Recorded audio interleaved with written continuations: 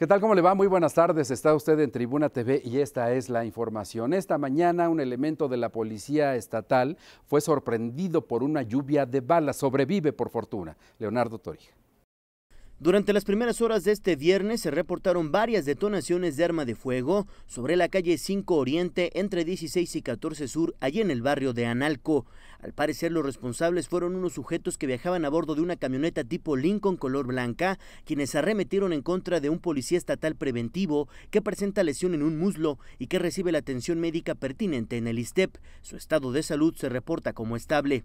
El uniformado de 31 años de edad se dirige hacia la Dirección General de la Policía Estatal, que se ubica en las inmediaciones del sitio en donde se registraron los hechos, e incluso algunos vecinos afirmaron que el agraviado iba corriendo y tocando desesperadamente en las puertas hasta que le dieron alcance a la altura de los baños El Ángel, lugar donde se encontraron seis cartuchos percutidos calibre 9 milímetros. No obstante, metros atrás, frente al número 1406, se encontraron otros 18 cartuchos percutidos calibre 223, correspondientes a los rifles de asalto AR-15.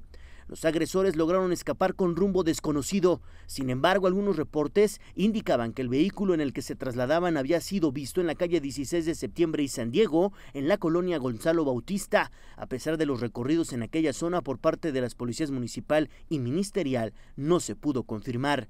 Al lugar de los hechos arribó personal de la Delegación Sur del Ministerio Público junto con peritos para embalar los indicios encontrados. Cabe señalar que la Secretaría de Seguridad Pública Estatal mantiene estrecha coordinación con la Procuraduría General de Justicia de Puebla para efecto de las investigaciones que ya se realizan en torno a lo ocurrido. Mientras tanto, la Secretaría General de Gobierno desestimó el hecho, aseguró que no se trata de delincuencia organizada y ofreció una investigación a fondo. Con imágenes de Álvaro Morales, Sistema Informativo, Tribuna.